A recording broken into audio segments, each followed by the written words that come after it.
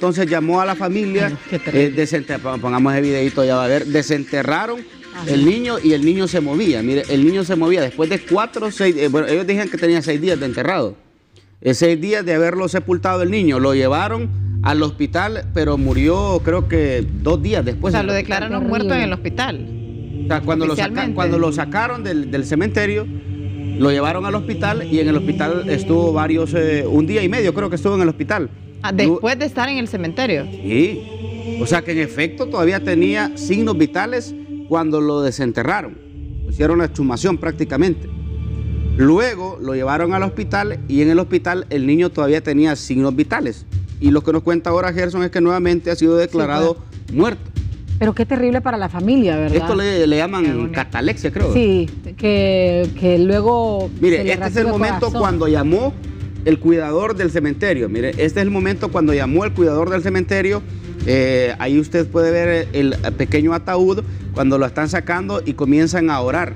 Eh, pongamos el audio ahí, solo para que vea este momento, porque Gerson me imagino detalla todo ya en su nota.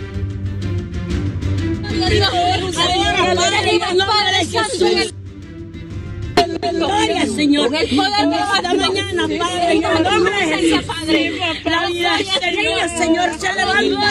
Ahora, Padre, en el nombre de Jesús. Mira, este es el momento. Qué terrible para la familia. Porque la muerte de un ser querido, sobre todo de un bebé, ha de ser muy fuerte, muy duro.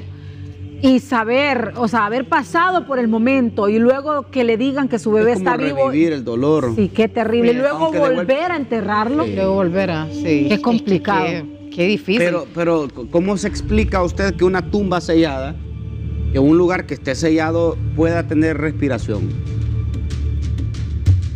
Porque habían pasado cuatro días desde que. Cuatro a seis días creo que pasaron. Quizás en el momento que el cuidador iba pasando, en ese momento acababa el niño de, volver a respirar. Es lo más seguro, ¿verdad? Porque. No sé, Alex, no puedo decir. Cuando se despierta, eh, despierta de una catalexia es como que vuelve ahí a reactivar todos sus signos. Sí. Porque con la catalexia queda como muerto todo el cuerpo, queda estado vegetal. Pero ahora que lo volvieron a enterrar, sigue siendo sumamente complicado para la familia porque todavía han de tener... Como doble dolor. No, y la esperanza de, o la preocupación de, si ¿y vuelve? si vuelve a, respirar? ¿Y si vuelve a revivir? Se imagina para la madre, qué tremendo. O sea, que este cuerpecito nunca se puso morado. Sí, porque de hecho usted mira esa imagen eh, y no se ve... Ay, no vamos a... Y se, ve como flexible el cuerpo, Cuando las personas mueren queda el cuerpo duro, queda tieso. qué triste esto. Bueno, vamos a ver toda la historia con nuestro compañero Gerson Guzmán. En la comunidad de La Ruidosa, del municipio de protección en el departamento de Santa Bárbara, desentierran el cuerpo de un menor de apenas dos meses de edad, tras cuatro días de haber fallecido. Esto debido a que presuntamente, producto de un milagro divino, el bebé habría resucitado.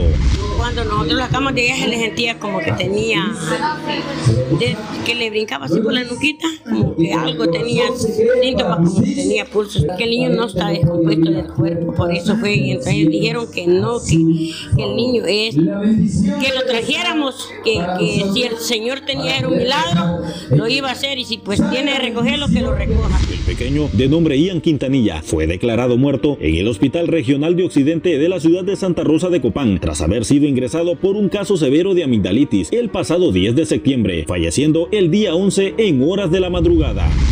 Para el hospital, entonces por la mentada papera que tenía, me, lo llevé para Santa Rosa y allá me dijeron que el niño estaba muerto, entonces me lo dieron, me lo traje para la casa. Pero ahí solo Dios va a hacer el milagro sobre él.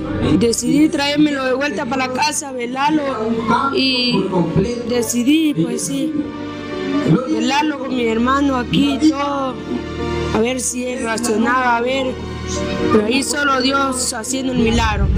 Devastados, sus padres regresaron con el menor ya sin vida para iniciar con el velatorio y posterior sepelio el día 12. Pero tras haberse celebrado los actos fúnebres, siendo ya el 14 de septiembre, un vecino de la localidad llegó hasta la casa de la familia de Ian Quintanilla asegurándoles que escuchó el llanto de un bebé al caminar cerca del cementerio de la localidad, por lo que sus padres procedieron a romper la tumba y extraer el cuerpo.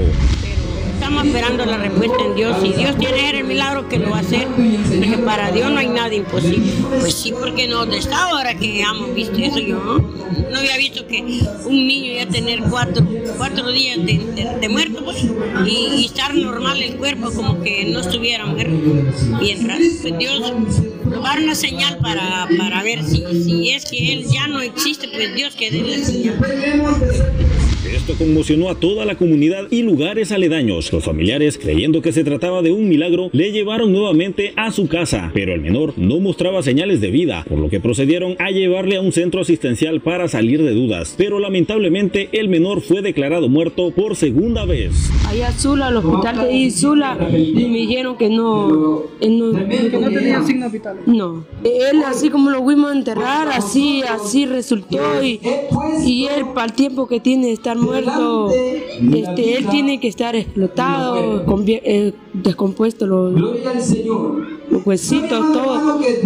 Y él no tiene nada, todo eso, él está como como que estuviera dormido. Esa es la esperanza mía, que mi hijo va a tener vida y, y si no, pues ahí solo la voluntad de Dios, si no lo vamos a ir La familia del pequeño Ian Quintanilla nuevamente le velaron con la celebración de una vigilia por parte de la iglesia de su localidad, aún con la esperanza de que Dios le regresara el aliento de vida al menor, pero al final tomaron la decisión de sepultarlo por segunda ocasión el pasado 17 de septiembre, tras casi ocho días de haber fallecido.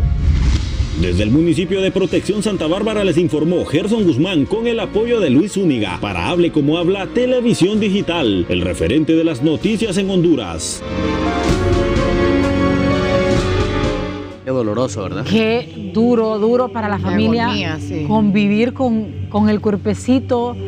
Ahora, lo, que yo puedo ver, Cecia, es fortaleza. la flexibilidad del cuerpo. O sea, y cuando una persona está muerta, Francis, mm, se pone duro, tieso y ya no habría esa flexibilidad que observamos en estos videos. Y esto es cuando lo vuelven a enterrar. Hasta pues, su color también. Él, conserva el color de la piel eh, y según pude escuchar lo que dice la familia, no despide ningún mal olor.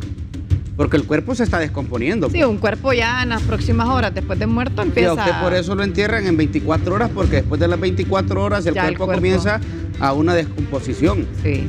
Y más aún cuando es una persona que está eh, alentada de salud, que no muere eh, deteriorado su cuerpo, dura mucho menos de 24 horas. Menos de 24 horas. Y en este caso, Cecia, eh, hablábamos con usted de la flexibilidad del cuerpecito. Y se miraba ahí en las imágenes, ¿verdad? Las imágenes. De cómo movían las manos. Y hasta el color de su cuerpecito.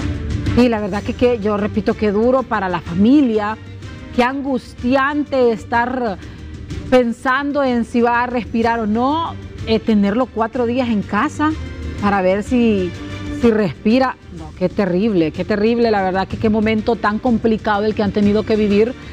Em, me imagino que van a tener que buscar asistencia psicológica. La familia. Sin duda, sobre, todo, la, mamá. Sí, la, mamá, y el papá, después de, de, estar pidiéndole a Dios un milagro y de que su hijo reaccionara. Eh, qué duro, la verdad que es un, tema bastante eh, complicado. Me preguntan, Cecia, y es que no, no preparan los cuerpos allá normalmente en, los pueblos, normalmente lo preparan de manera natural, se puede decir. Sí, ahí usted solo pone cal, le echa huevos eh, y le ponen en la, en, la, en la barriga y le ponen en la parte de la espalda y eso es la preparación. Muchas veces no usan lo que le, ponen al, muerto. Primero tuvo una complicación de salud del bebé, ¿verdad? De algo respiratorio. pero no. El trauma por la pérdida les hizo ir a desenterrarlo, no fue otra cosa. Ese niño jamás revivió, me dice otra persona. pero si lo tuvieron en el hospital. O sea. Eh, eh, lo tuvieron en la casa, dice. Ahí en, la, nota lo tuvieron en la casa varios tiempos.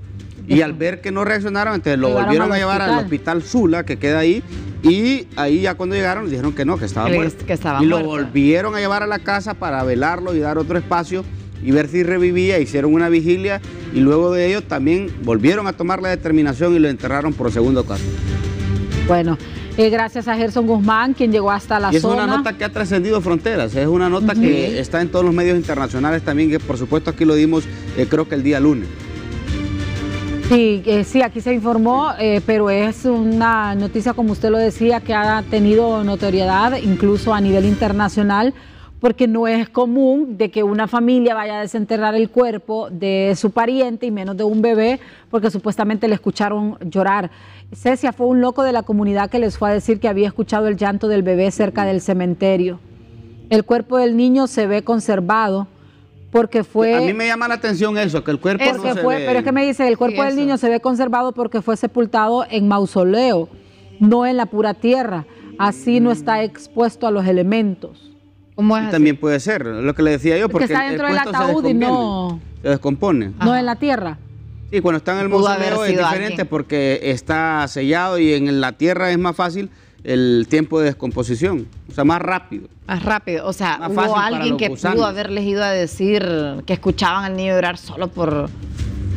Sí, bueno, no sé, la verdad que no sé, para la familia Porque es ellos complicado fueron, porque, dicen, porque recibieron un aviso. porque de si que llega una persona, sea loca o no, eh, usted como familiar le Claro, cree. en su, en su dolor, Sí, uno. en su trauma, en su pérdida. Eh, negación, definitivamente ellos necesitan ayuda psicológica, ojalá expertos se le acerquen y se la brinden. Bueno, seguimos.